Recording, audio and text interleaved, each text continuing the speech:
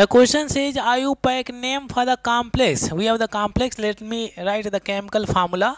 We have cobalt, then we have NH3 whole thrice. It is H2O. Okay, H2O whole twice. It is Cl and then we have counter and this is what Cl2 okay if you break this complex from here so this is what counter and negative part and this first part is what positive part so you can see the central element is present in the cationic complex. That's why we will use its common name as given in the periodic table. Okay? So this is the cationic complex and then we have the counter ion okay? The order for the naming of the complex we have first of all number of ligand then type of ligand then we have central metal atom and then we have the oxidation number of the central metal atom in roman numbers. Okay? If more than one type of ligand are given there then we follow alphabetical order.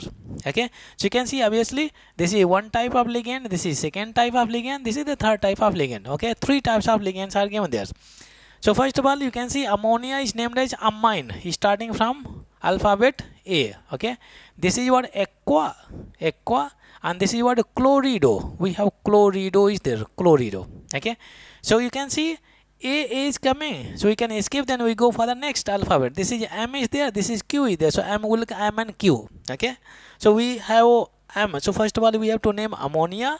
Then we have H2O, and then in the last we have C. Starting from C, so this is what chlorido. So let's name it. First of all, number of ligands. How many? Three. So we can write it is tri and it is amine is there. Triamine. Okay.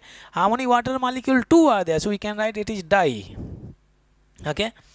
And this uh, we name it as a aqua. So di aqua we mention. Di aqua is there. And then we have chlorido for the Cl. Chlorido. Okay. We are following chlorido alphabetical order. Then next we have the central metal atom. So common name. This is what cobalt. We have to use cobalt. Common name. Okay. Then we have to write oxidation number which we can calculate.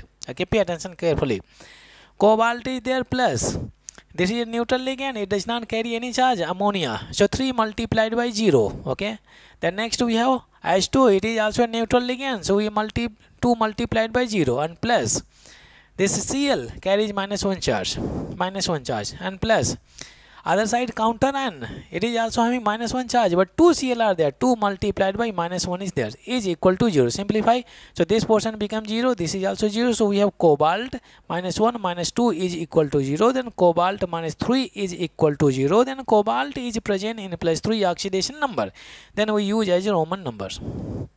3 and counter ion is what Cl2 we do not mention dichloride. We mention only the name. This is what chloride. Okay this 2 is coming by balancing the charge of cationic part as well as anionic part by balancing the charge so that's why we do not mention 2 i cannot say this is what magnesium dichloride it is only magnesium chloride we 2 we are getting by balancing the charge of cationic as well as anionic part okay so triamine diaqua chlorido cobalt 3 chloride is there any option you can see in all these cases cobalt 333 is given there okay so at least three options are there 333 but which one is correct diaqua no it is not correct triamine starting from triamine okay triamine diaqua chlorido cobalt 3 chloride is there you can see option b is correct okay option b is correct because in this case it is not following the alphabetical order for the naming of the ligand okay chloro chloro diamine this is also not correct option b is